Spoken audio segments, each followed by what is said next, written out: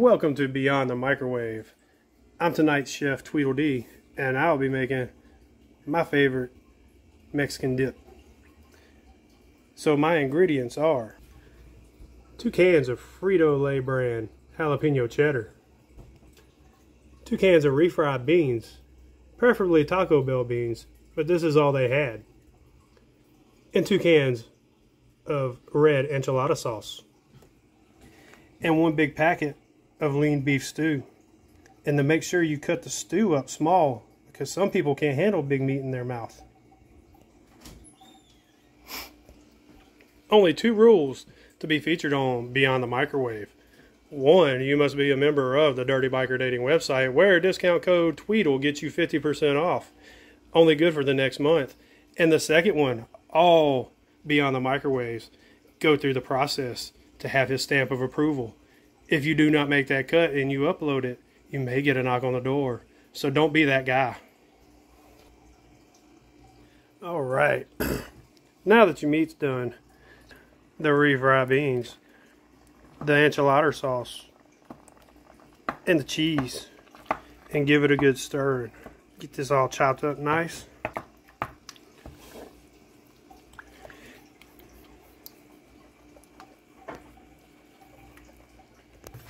Now that that's all stirred up, so dump your meat in.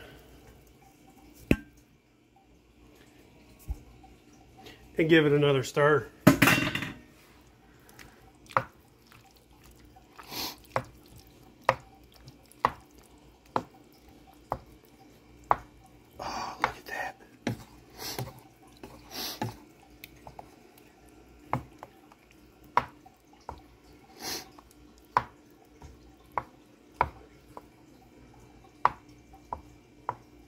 All right, now that all the ingredients together, leave that bad boy on fire for about 10, 15 minutes.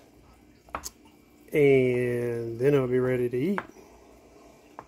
Mmm, yeah. This is some good stuff right here. Make you want to walk over there and slap your mama. Mm-hmm. All right, now that that's cooked for about 10, 15 minutes, time to eat. Mm-hmm. Pour right over everything.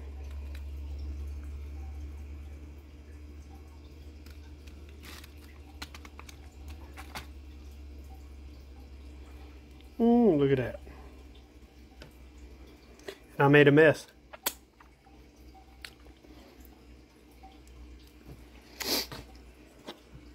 All right. Now that that's done, the last thing I do,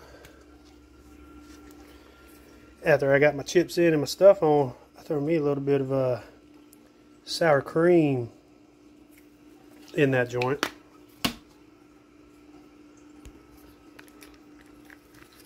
And a couple Taco Bell fire sauce packets. Just for added heat.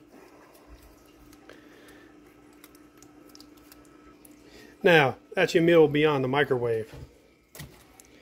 Next week, I have no idea who it is. So until then, get out there, get away from that microwave food, and start cooking something for yourself.